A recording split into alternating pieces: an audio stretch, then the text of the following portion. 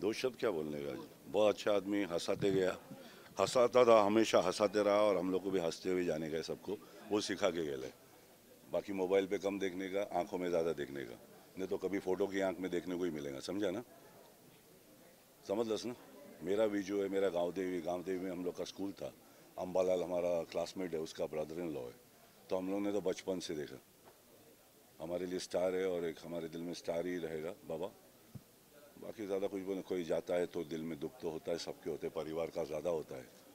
पर उससे अपने को समझना चाहिए कि अपने परिवार को कितना नज़दीक रखने का, कितना अपने आँख, माँ के आँख में देखने का, बच्चे के आँख में देखने का, अपने गर्लफ्रेंड के आँख में देखने का, जो भी है, मर आँख में देखने का। समझा ना? फिर बाद में रोने का मतलब नहीं, जाने के बाद। तो बस उतना सीख लो। बाकी कुछ ज़्यादा बोलने को नहीं आया मैं यहाँ पे। मैं खाली मेरा दोस्त को मिलने आया अम्बालाल को, और इनके परिवार को, मेरा दिल से ज़्यादा कुछ बोलने का नहीं हाँ चल हाँ जय हिंद जय महाराष्ट्र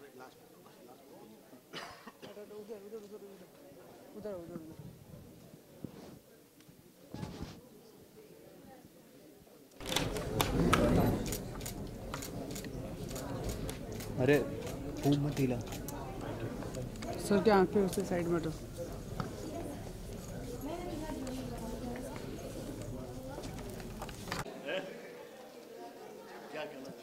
यस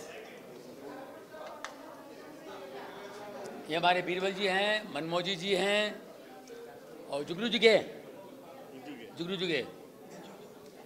हमारे विजू घोटे साहब बड़े प्यारे इंसान थे बड़े प्यारे भाई थे हमारे दोस्त थे और उन्होंने लोगों को बहुत हंसाया। जितना उन्होंने पर्दे पे लोगों को हंसाया उससे ज़्यादा हमको हंसाया। इसमें कोई शक नहीं। क्योंकि वो खुश मिजाज थे हंसने खेलने वाले थे जॉली आदमी थे बड़े कम लोग होते हैं वरना हमारे कॉमेडी लोग लोगों को हंसाते हैं लेकिन खुद सीरियस रहते बहुत। विजू खोटे साहब ऐसे नहीं थे। रियल लाइफ में भी रियल लाइफ में भी हाँ जी रियल लाइफ में भी बड़े ज़बरदस्त कॉमेडियन थे। बड़े ज़बरदस्त कॉमेडियन थे। तो हम विजू खोटे जी को बहुत मिस करेंगे और कौन उन्हें भूल सकता है? शोले का कालिया है ना? शोले का ताली शोले का कालिया। उसके लिए बजाते हैं तालियाँ।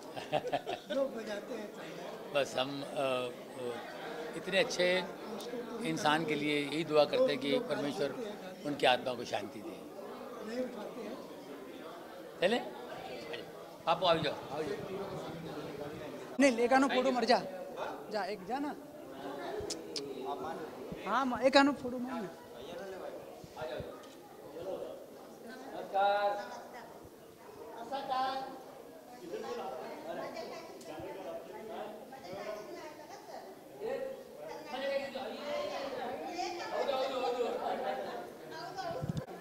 बीजू खोटे साहब की और मेरी दोस्ती लगभग 22 साल से थी। आ, मेरे काफ़ी मराठी फ़िल्मों में स्टेज शो में उन्होंने मेरे यहाँ काम किया। जब मैं कुछ नहीं था स्ट्रगलर था तब से उन्होंने मुझे बहुत सपोर्ट किया है।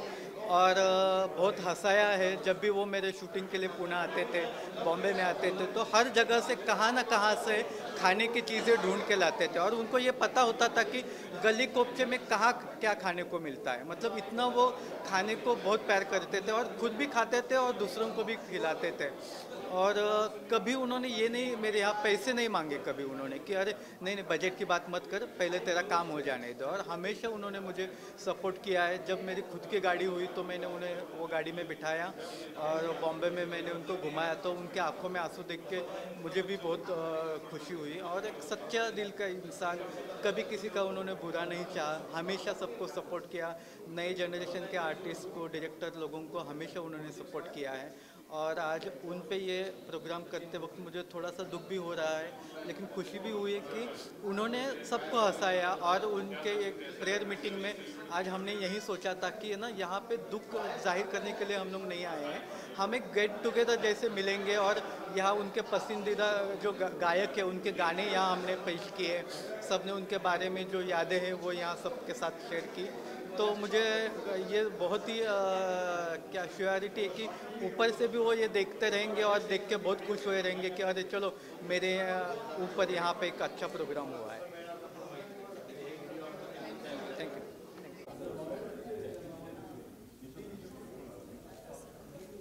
ये पीछे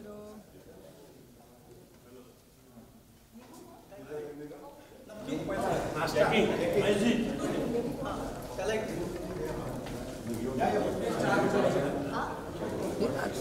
你咋？你咋？